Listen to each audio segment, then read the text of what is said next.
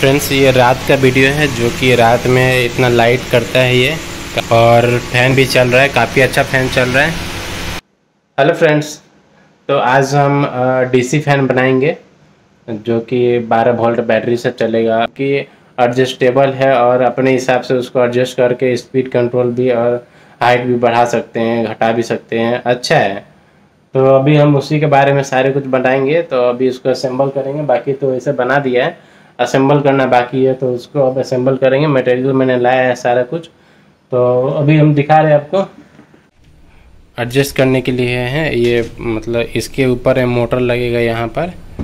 यहाँ पे इसका मोटर का ये अंदर में लगेगा, यहाँ पे जो कि अंदर में स्लाइडिंग होगा ये।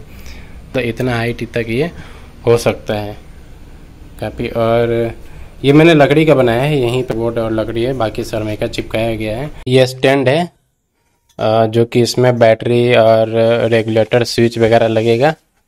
और ये, और इसमें बफर लगेगा और इसका ये कवर वगैरह सब लगेगा इसी में। और बाकी ये फ़ैन है और ये स्पीड कंट्रोलर है, जो कि हम स्पीड को घटा बढ़ा भी सकते हैं। ये इतना seven ninety five D motor है, बारह वोल्ट से चौबीस वोल्ट काफ़ी अच्छा फ़ैन मोटर है ये। और एक ये बैटरी है, जो बैटरी मैंने मंगवाया है। ये है लिथियम आयन बैटरी है, जो कि 12000 हज़ार का है 12 वोल्ट में और 12 एम्पियर में। ये काफ़ी अच्छा बैटरी होता है और इसका लाइफ भी होता है। चार्जर भी मैंने अलग से मंगवाया है, ताकि बैटरी का लाइफ बना रहे और बैटरी ख़राब भी ना हो जल्दी।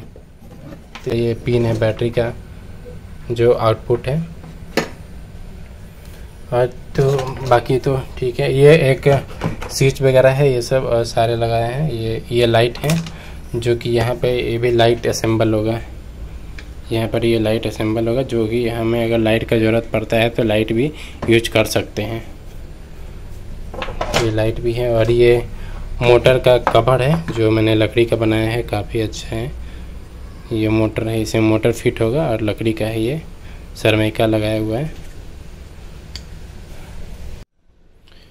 इसके अंदर में आप देख रहे हो कैसे है, इधर से वायर गया हुआ है नीचे और नीचे से यहाँ पे अंदर अंदर वायर गया हुआ है और ये वायर यहाँ पे निकला हुआ है। आप देख रहे हो, लाइट मैं दिखा रहा हूँ, यहाँ पे वायर निकल के और यहाँ पे सोल्डरिंग है। ये सोल्डरिंग किया हुआ है? टर्मिनल में। और ये टर्मिनल इस टाइप का है। ऐसा टर्मिनल है ये, जो कि इसके अंदर वायर है दोनों साइड में। ये टच करेगा उसके साथ। टच करेगा, इसमें करंट आएगा तो ये स्लाइडिंग करने में कोई दिक्कत नहीं होगा। मूवमेंट में कोई दिक्कत नहीं होगा और मोटर अच्छा परफॉर्म भी करेगा। ये चीज़, और इसमें अंदर में देख रहे हो आप, एक वायर लगा हुआ है। और इसमें टच करते हुए स्लाइड करेगा। यहाँ पे ये पूरा ढका हुआ है। ये वायर आपको दिख रहा होगा, यहाँ भी साइड में लगा हुआ है। ये आप देख सकते हो, यहाँ पे साइड में है, लगा हुआ। ये दोनों साइड में है वायर दोनों साइड में। तो अब इसको असेंबल करते हैं, उसके बाद देखते हैं। ये देख सकते हैं अंदर से। स्विच लगा दिया यहाँ पर और ये रेगुलेटर लगा दिया। काफ़ी मतलब अच्छा है अच्छा क्वालिटी का रेगुलेटर भी है। अब बैटरी इसमें लगाएँगे। बैटरी लगा कर अब उसके बाद फिर कनेक्शन करेंगे। हेलो फ्रेंड्स तो अभी सारे मैंने कनेक्शन कर दिया है। ये सर्किट है। जो मैंने दिखाया था आपको रेगुलेटर वाला है। और बैटरी को मैंने फिक्स कर दिया है अंदर। ये पॉजिटिव निगेटिव इसको भी कनेक्शन कर दिया है। सारा हो चुका है, अब इसको टेस्ट करते हैं।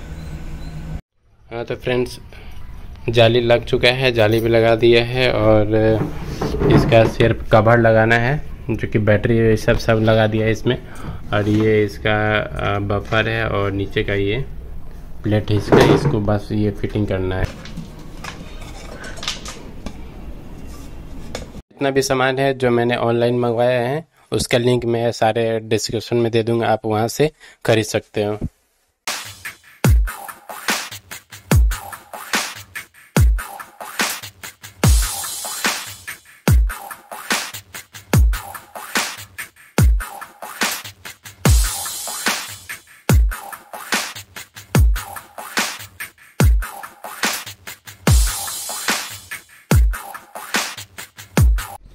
हाँ तो फ्रेंड्स बिल्कुल रेडी है। सब कुछ फिटिंग हो चुका है। ये स्लाइड हो रहा है। स्लाइड में कोई दिक्कत नहीं है। बिल्कुल, और अभी इसको ऑपरेट करते हैं। ये स्पीड स्पीड काफ़ी अच्छा है। और इसके बाद स्लाइड करने में कोई दिक्कत नहीं है।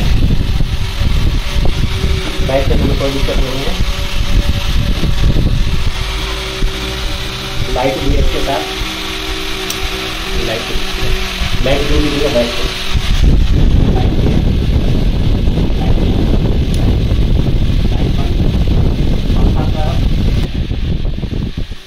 यहाँ पे इसका नट है जो कि लूज करने के बाद इसको हाइट एडजस्ट कर लेते हैं। ये टाइट कर दिए यहाँ से लूज कर दिए